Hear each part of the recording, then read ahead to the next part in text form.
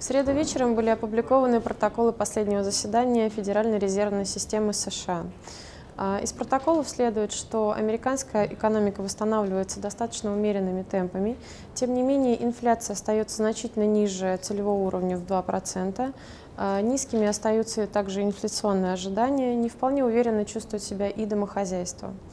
А, Федрезерв ожидает, что в краткосрочной перспективе э, показатели инфляции продолжат снижаться, и это во многом происходит из-за падения цен на энергоресурсы.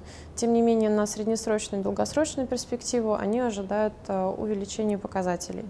Данные за октябрь будут опубликованы в четверг вечером вместе с данными по рынку труда. Стоит отметить, что тон последних минуток ФРС э, можно назвать раздражающе нейтральным. Снова не было сказано ничего конкретного, и, соответственно, реакция рынков была достаточно сдержанной.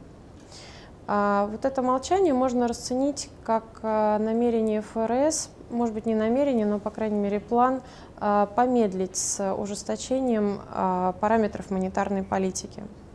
Сегодня вышел довольно разочаровывающий блок индексов PMI по Европе. Данные оказались хуже ожиданий по Германии, по Франции и по еврозоне в целом.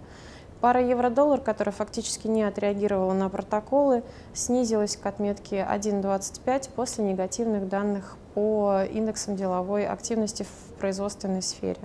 Дальнейшая динамика пары определится после э, выхода сегодняшних данных по американской экономике, а также по итогам завтрашнего выступления главы ЕЦБ Марио Драги.